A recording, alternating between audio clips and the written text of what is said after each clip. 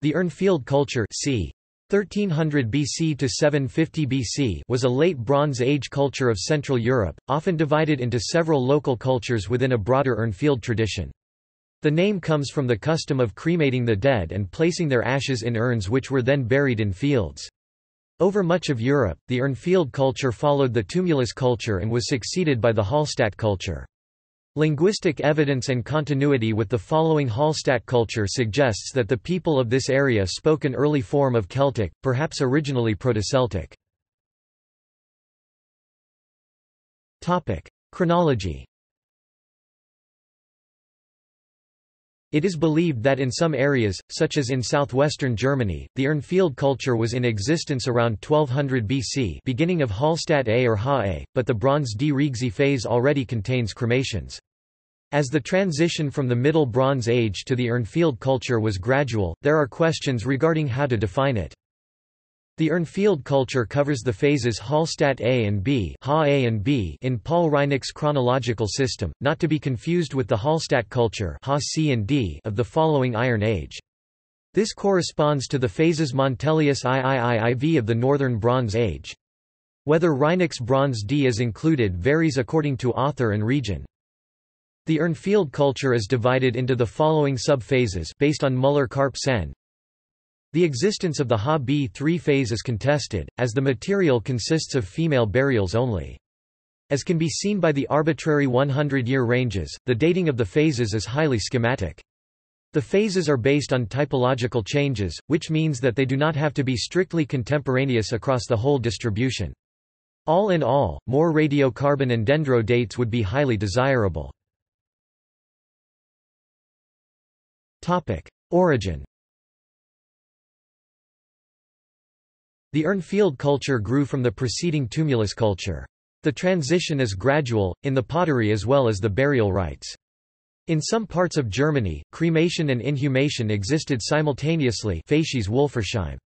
Some graves contain a combination of tumulus culture pottery and Urnfield swords, Kressborn, Bodenseekreis or tumulus culture incised pottery together with early Urnfield types Mengen. In the north, the Urnfield culture was only adopted in the Ha-II period. Sixteen pins deposited in a swamp in Ellmosen Kr. Bad Aibling, Germany cover the whole chronological range from Bronze B to the early Urnfield period ha -A. This demonstrates a considerable ritual continuity. In the Loire, Seine and Rhône, certain fords contain deposits from the late Neolithic onwards up to the Urnfield period. The origins of the cremation rite are commonly believed to be in Hungary, where it was widespread since the first half of the second millennium BC. The Neolithic Cucuteni Tripolia culture of modern-day northeastern Romania and Ukraine were also practicing cremation rituals as early as approximately 5500 BC. Some cremations begin to be found in the Proto-Lusatian and Trzciniec culture. Distribution and local groups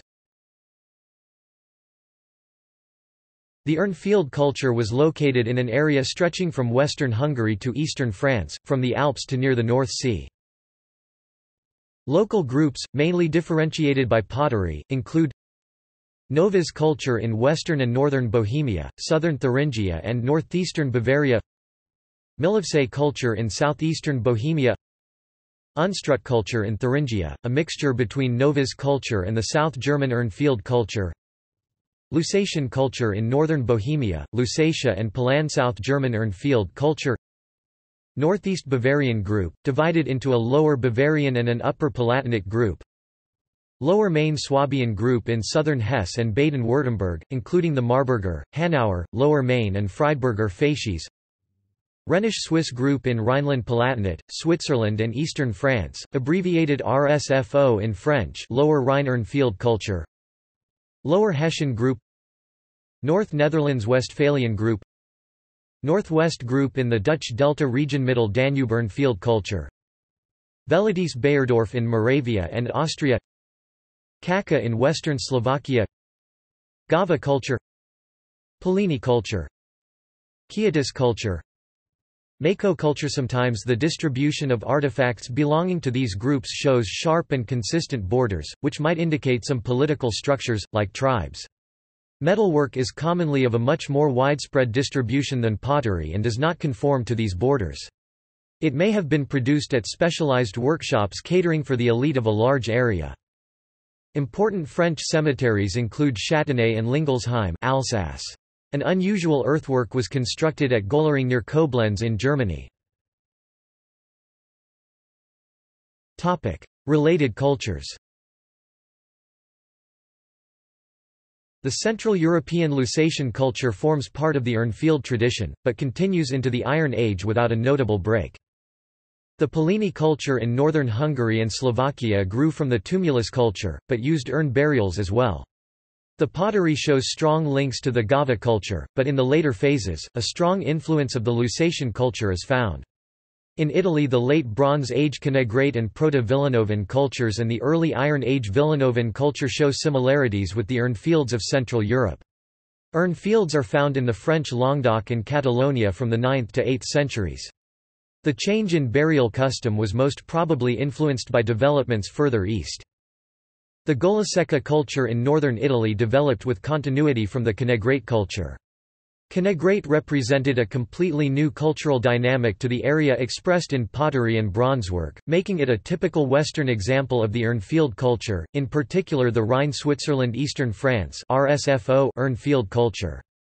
The Lepontic Celtic language inscriptions of the area show the language of the Golasecca culture was clearly Celtic making it probable that the 13th century BC language of at least the RSEF area of the western Urn Fields was also Celtic or a precursor to it. Placename evidence has also been used to point to an association of the Urn Field materials with a Proto-Celtic language group in Central Europe, and it has been argued that it was the ancestral culture of the Celts.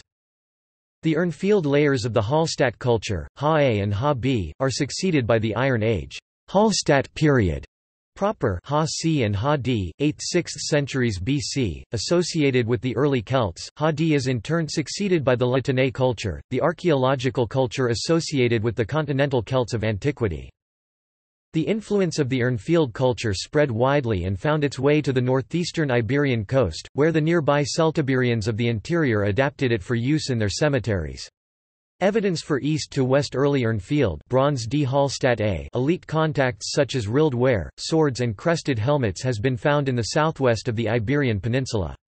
The appearance of such elite status markers provides the simplest explanation for the spread of Celtic languages in this area from prestigious, Proto-Celtic, early Urnfield metalworkers.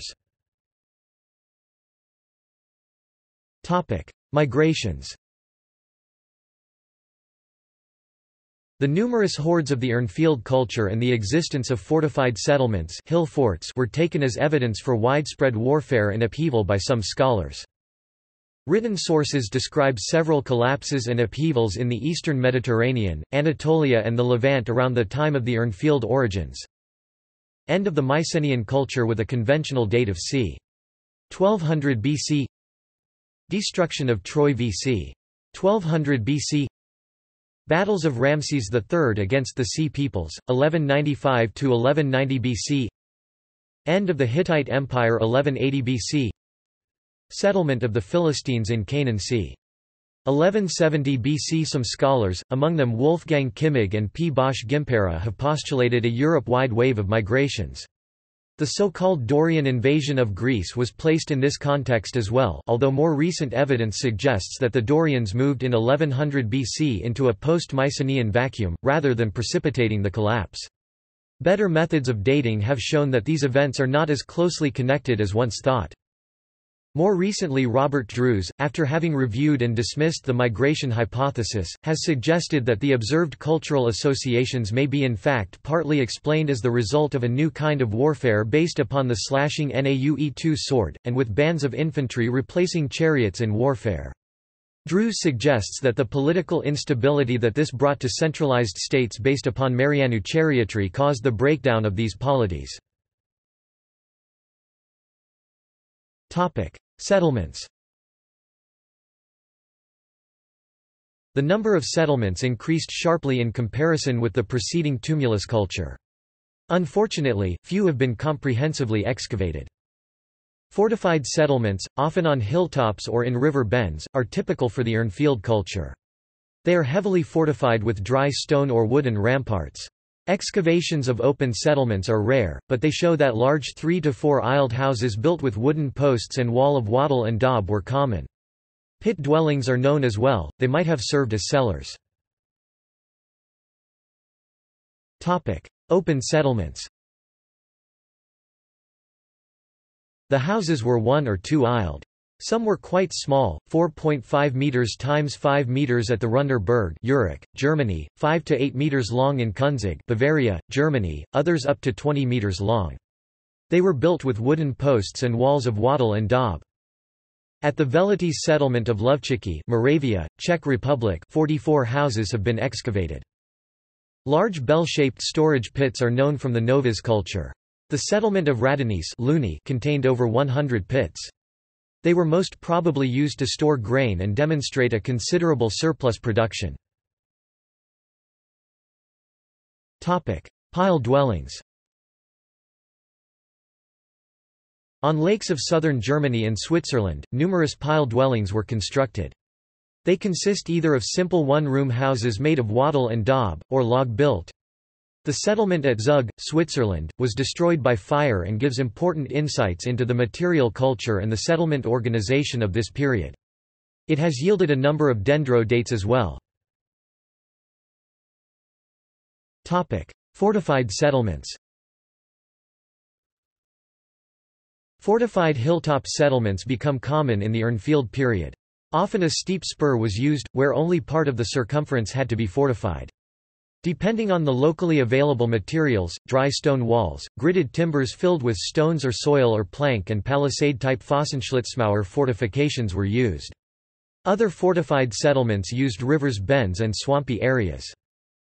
At the hill fort of Hořovice near Beroun cr. 50 hectares were surrounded by a stone wall. Most settlements are much smaller. Metal working is concentrated in the fortified settlements. On the Runderberg near Urach, Germany, 25 stone molds have been found. Hill forts are interpreted as central places. Some scholars see the emergence of hill forts as a sign of increased warfare.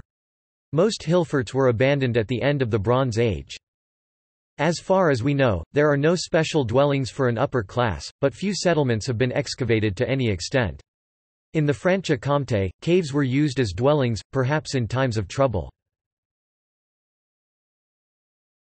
Topic: Material culture. Topic: Pottery. The pottery is normally well made, with a smooth surface and a normally sharply carinated profile. Some forms are thought to imitate metal prototypes. Biconical pots with cylindrical necks are especially characteristic. There is some incised decoration, but a large part of the surface was normally left plain. Fluted decoration is common. In the Swiss pile dwellings, the incised decoration was sometimes inlaid with tin foil. Pottery kilns were already known Elchinger Bavaria, as is indicated by the homogeneous surface of the vessels as well.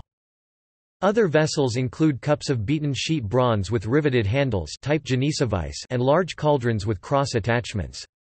Wooden vessels have only been preserved in waterlogged contexts, for example from Auvernier Neuchâtel, but may have been quite widespread.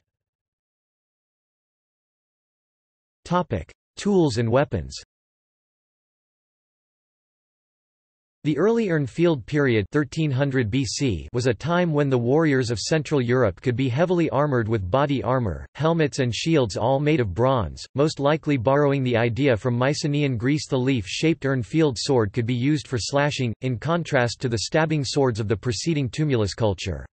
It commonly possessed a ricasso. The hilt was normally made from bronze as well. It was cast separately and consisted of a different alloy. These solid hilted swords were known since Bronze D Rixheim swords. Other swords have tanged blades and probably had a wood, bone, or antler hilt. Flange-hilted swords had organic inlays in the hilt. Swords include Auvernier, Kressborn Hemigkofen, Erbenheim, Mörigen, Weltenberg, Hemigkofen and Tachlovice types. Protective gear like shields, cuirasses, greaves and helmets are extremely rare and almost never found in burials. The best known example of a bronze shield comes from Plzeň in Bohemia and has a riveted handhold. Comparable pieces have been found in Germany, western Poland, Denmark, Great Britain and Ireland. They are supposed to have been made in Upper Italy or the Eastern Alps and imitate wooden shields. Irish bogs have yielded examples of leather shields Clonbrine, Co. Wexford. Bronze cuirasses are known since Bronze D Čaka, Grave II, Slovakia. Complete bronze cuirasses have been found in Saint-Germain-du-Plain, nine examples, one inside the other, in Marmesse, Haute-Marne France, fragments in Albstadt-Pfeffingen Germany. Bronze dishes may have been sewn on a leather armor. Greaves of richly decorated sheet bronze are known from Klostar Ivanic Croatia and the Paulus cave near Beuron Germany. Chariots. About a dozen wagon burials of four-wheeled wagons with bronze fittings are known from the early Urnfield period. They include Hart an der Alz Kr. Altötting, Mengen Kr. Sigmaringen, Poing Kr. Ebersberg, Königsbronn Kr. Heidenheim from Germany and St. Sulpice Vaud, Switzerland. In Als, the chariot had been placed on the pyre, pieces of bone are attached to the partially melted metal of the axles. Bronze one part bits appear at the same time. Two-part horse bits are only known from late Urnfield contexts and may be due to Eastern influence. Wood and bronze spoked wheels are known from Stade Germany, a wooden spoked wheel from Mercurago, Italy. Wooden dish wheels have been excavated at Corseletz, Switzerland and the Wasserburg Buchau, Germany diameter 80 cm. In Milavče near Domažlice, Bohemia, a four-wheeled miniature bronze wagon bearing a large cauldron diameter 30 cm contained a cremation. This exceptionally rich burial was covered by a barrow. The wagon from Acholshausen Bavaria comes from a male burial. Such wagons are known from the Nordic Bronze Age as well. The Skallerup wagon, Denmark, contained a cremation as well. At Peckatel Kr. Schwerin in Mecklenburg a cauldron wagon and other rich grave goods accompanied an inhumation under a barrow Montelius 3, IV. Another example comes from Ystad in Sweden. Southeastern European examples include Kanya in Hungary and Oresti in Romania. Clay miniature wagons, sometimes with waterfowl were known there since the Middle Bronze Age Dupljaja, Vojvodina, Serbia. The Lusatian chariot from Berg Brandenburg, Germany has three wheels on a single axle, on which waterfowl perch. The grave of Gammertingen Kr. Sigmaringen, Germany contained two socketed horned applications that probably belong to a miniature wagon comparable to the Berg example, together with six miniature spoked wheels. Hordes Hoards are very common in the Urnfield culture. The custom is abandoned at the end of the Bronze Age. They were often deposited in rivers and wet places like swamps. As these spots were often quite inaccessible, they most probably represent gifts to the gods. Other hoards contain either broken or miscast objects that were probably intended for reuse by bronze smiths. As late Urnfield hoards often contain the same range of objects as earlier graves, some scholars interpret hoarding as a way to supply personal equipment for the hereafter. In the river Trieux, Côtes du Nord, complete swords were found together with numerous antlers of red deer that may have had a religious significance as well. Iron An iron ring from Vorwohlde Kr. Grafschaft Diepholz, Germany dating to the 15th century BC is the earliest evidence of iron in Central Europe. During the Late Bronze Age, iron was used to decorate the hilts of swords Schwäbisch Hall Gailenkirchen, Unterkrumbach, K.R. Hersbruck and knives Dotternhausen, Plettenberg, Germany and pins. The use of iron for weapons and domestic items in Europe only started in the following Hallstatt culture. The widespread use of iron for tools only occurred in the late Iron Age La culture. Economy Cattle, pigs, sheep and goats were kept, as well as horses, dogs and geese. The cattle were rather small, with a height of 1.20 meters at the withers. Horses were not much bigger with a mean of 1.25 meters. Forest clearance was intensive in the Urnfield period. Probably open meadows were created for the first time, as shown by pollen analysis. This led to increased erosion and sediment load of the rivers. Wheat and barley were cultivated, together with pulses and the horse bean. Poppy seeds were used for oil or as a drug. Millet and oats were cultivated for the first time in Hungary and Bohemia, rye was already cultivated, further west it was only a noxious weed. Flax seems to have been of reduced importance, maybe because mainly wool was used for clothes. Hazelnuts, apples, pears, sloes and acorns were collected. Some rich graves contain bronze sieves that have been interpreted as wine sieves This beverage would have been imported from the south, but supporting evidence is lacking. In the lacustrine settlement of Zug, remains of a broth made of spelt and millet have been found. In the lower Rhine urnfields, leavened bread was often placed on the pyre and burnt fragments have thus been preserved. Wool was spun finds of spindle whorls are common and woven on the warp-weighted loom, bronze needles were used for sewing. There is some suggestion that the Urnfield culture is associated with a wetter climatic period than the earlier tumulus cultures. This may be associated with the diversion of the mid-latitude winter storms north of the Pyrenees and the Alps, possibly associated with drier conditions in the Mediterranean basin. Funerary customs Graves In the tumulus period, multiple inhumations under barrows were common, at least for the upper levels of society. In the Urnfield period, inhumation and burial in single flat graves prevails, though some barrows exist. In the earliest phases of the Urnfield period, man-shaped graves were dug, sometimes provided with a stone-lined floor, in which the cremated remains of the deceased were spread. Only later, burial in urns became prevalent. Some scholars speculate that this may have marked a fundamental shift in people's beliefs or myths about life and the afterlife. The size of the urn fields is variable. In Bavaria, they can contain hundreds of burials, while the largest cemetery in Baden-Württemberg in Dautmergen has only 30 graves. The dead were placed on pyres, covered in their personal jewelry, which often shows traces of the fire and sometimes food offerings. The cremated bone remains are much larger than in the Roman period, which indicates that less wood was used. Often, the bones have been incompletely collected. Most urn fields are abandoned with the end of the Bronze Age, only the lower Rhine urn fields continue in use in the early Iron Age sometimes even d. The cremated bones could be placed in simple pits.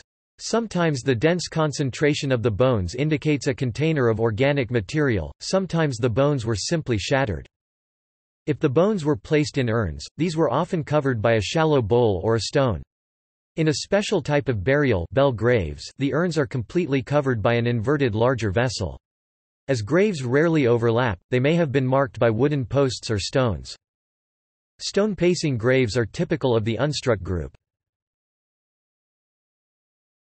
Topic: Grave gifts The urn containing the cremated bones is often accompanied by other, smaller ceramic vessels, like bowls and cups. They may have contained food.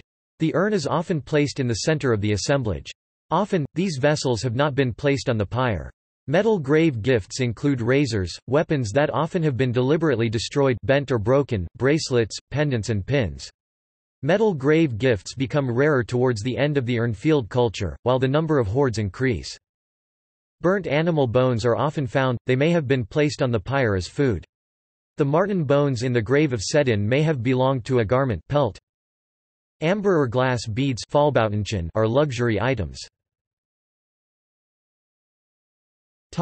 Upper-class graves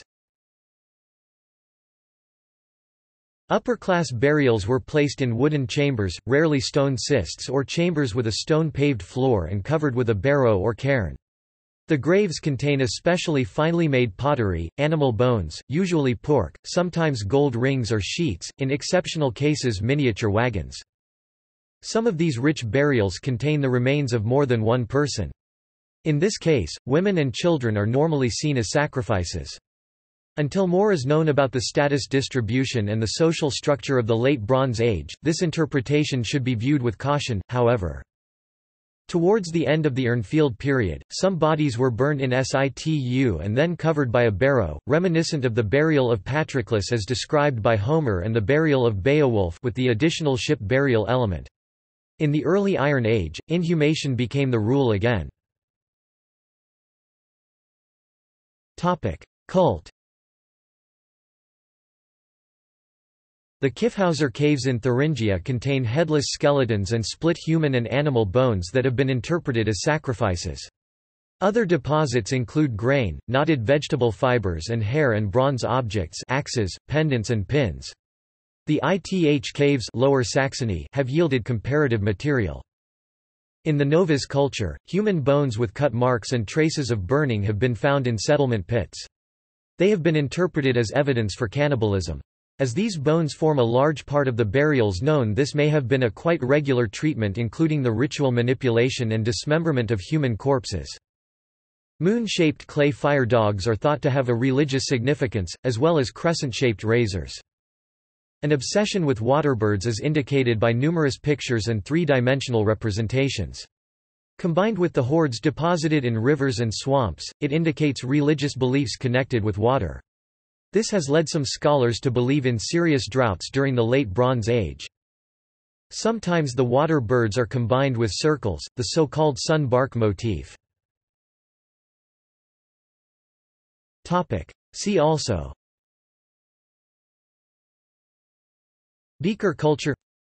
Sorothaptic language. Urnfield culture numerals. References Bibliography J. M. Coles, A.